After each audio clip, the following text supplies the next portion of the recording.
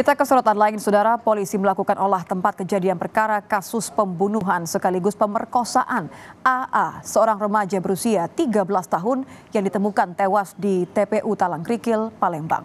Polisi telah menangkap empat remaja yang merupakan pelaku pembunuhan. Olah TKP dilakukan di dua lokasi untuk mencari bukti-bukti.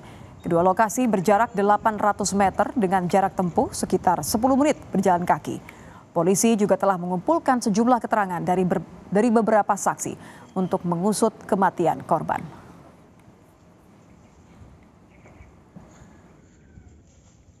Pokoknya kita masih pendalaman untuk uh, eh, TKP pertama. Siap. Uh, ini ya dari alat bukti. Siap. Cara scientific investigation. Ya. Benar ada empat orang ya. Pak Dir yang diamankan Pak Dir? Nanti kita sampaikan dalam press conference. Siap.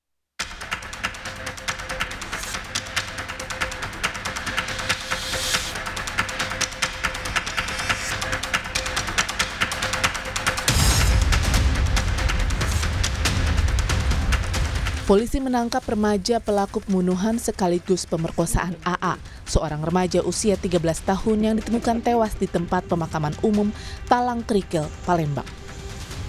Keempat pelaku yang masih di bawah umur terbukti merencanakan pemerkosaan hingga membunuh korban.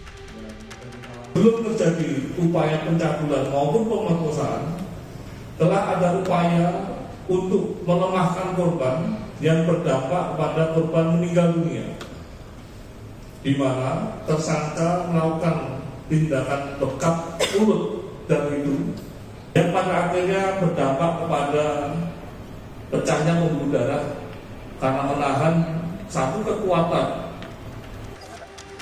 Jenazah AA pertama kali ditemukan warga pada Senin di TPU Talang Krikil, Palembang. Jenazah langsung dibawa polisi ke Rumah Sakit Bayangkara Palembang untuk dilakukan otopsi. Dari hasil otopsi sementara ditemukan bekas kekerasan di beberapa bagian tubuh korban. Pada pemeriksaan kita jumpai memang kita jumpai dia itu kekurangan oksigen berat ya. Keluar buih semuanya dari hidung dan mulut sudah pecah.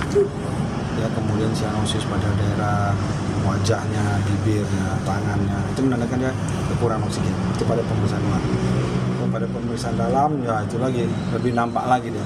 Memang ada kekerasan tumpul pada Di mana dokter? Di bagian mana dokter? Di bagian leher.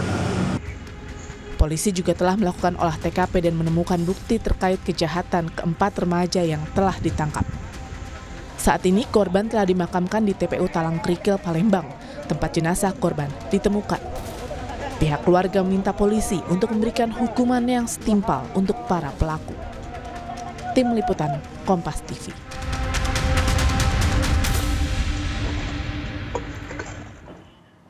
Polisi telah menetapkan empat pelaku dalam kasus pemerkosaan sekaligus pembunuhan uh, remaja SMP di Palembang, Sumatera Selatan. Keempat pelaku merupakan anak di bawah umur.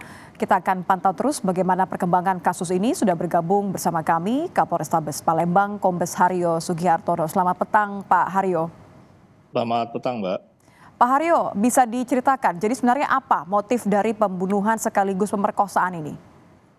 Baik, dapat kami sampaikan pada seluruh pemirsa, bahwasanya motif atas tindak pidana persetubuhan terhadap anak dan pencabulan serta penganiayaan terhadap anak tersebut adalah faktor asmara.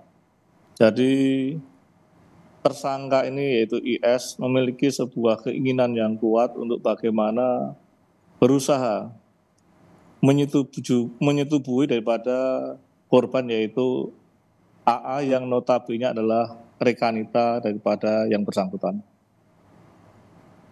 Jadi artinya uh, memang sudah ada direncanakan begitu? Apakah hanya uh, satu orang pelaku saja? Karena kan sebenarnya ada empat orang yang kemudian ditahan ya Pak ya? Benar.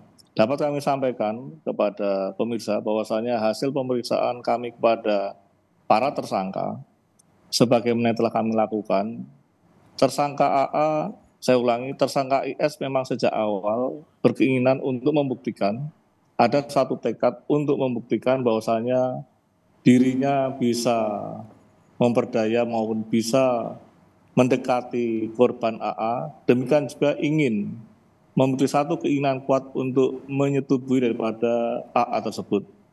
Namun demikian, fakta di lapangan ketika terjadi peristiwa tersebut, ketika yang bersangkutan tersangka IS membawa rekan-rekannya, pada kenyataannya terjadi peristiwa yang berkelanjutan di mana para tersangka yang notabene awalnya adalah teman daripada IS ikut melakukan pelampiasan nafsu tersebut dan melakukan kekerasan seksual yang ada. Hmm.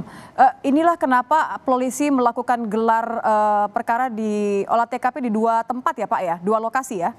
Benar, kami telah melakukan telah melakukan olah TKP, demikian juga kami melakukan rekonstruksi atas perkara yang terjadi, di mana sejak awal kami mencurigai beberapa lokasi yang menjadikan TKP atas tindak pidana yang terjadi. Demikian, Pak. Hmm. Uh, ketika um, melakukan olah TKP, apakah betul dari pemeriksaan bahwa keempat pelaku ini mendatangi uh, lokasi kejadian ketika polisi menggelar olah tempat kejadian perkara?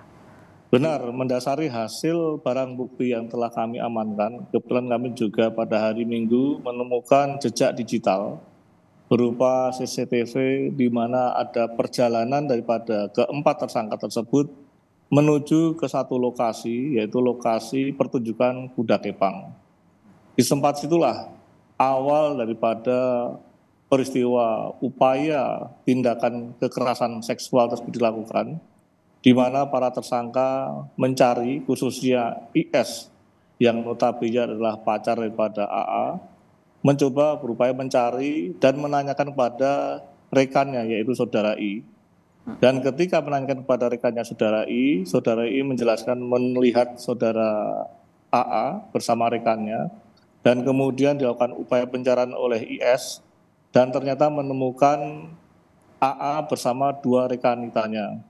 Hmm. Kemudian seiring dengan itu ada suatu proses pembicaraan yang pada akhirnya keterangan daripada dua saksi wanita rekan daripada atas itu membenarkan ada kegiatan berjalan bersama-sama setelah itu antara IS dan AA, demikian juga didampingi oleh tiga rekannya menuju ke satu lokasi tertentu. Oke, okay. eh, karena ada empat pelaku yang uh, terlibat, Pak, bagaimana dengan penanganannya? Apakah um, tiga orang ini dilakukan rehabilitasi karena sebenarnya kan masih di bawah umur ya? Baik, Mbak. Jadi dapat kami sampaikan sejatinya bukan rehabilitasi, namun statusnya tetap tersangka. Jadi sesuai dengan Undang-Undang Nomor 11 Tahun 2012 tentang Sistem Peradilan Pidana Anak, atas perbuatan yang dilakukan oleh keempat tersangka yang notabene ada yang berusia 12 tahun, 13 tahun, dan 17 tahun, yaitu AA ternyata 17 tahun. Dalam satu pasal, itu pasal 32 dijelaskan bahwasanya ketiga anak tersangka yang notabene di bawah 14 tahun tentunya tidak dapat kami lakukan penahanan di rutan kepolisian. Namun statusnya mendasari daripada kesepakatan bersama keluarga dan jaminan dari keluarga, kami telah melakukan koordinasi dengan LPKS, Lembaga Penyelenggara Kesejahteraan Sosial, di mana kami memiliki yaitu Balai Rehabilitasi milik Dinas Sosial. Baik.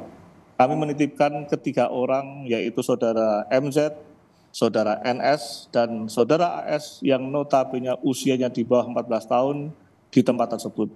Baik. Saya dasari keputusan daripada kesepakatan dan jaminan daripada orang tuanya. Dan khusus untuk tersangka IS yang berusia 17 tahun, baru saja kami mencoba mendiskusikan dan ternyata yang bersangkutan sesuai dengan pasal 32 ayat 2 Undang-Undang nomor 11 tahun 2012 yang bersangkutan dapat dilakukan penahanan di rutan kepolisian. Baik, terima kasih uh, Kombes Haryo Sugihartono, Kapolres Sabes Palembang. Selamat petang Pak Haryo. Terima kasih, selamat petang Mbak.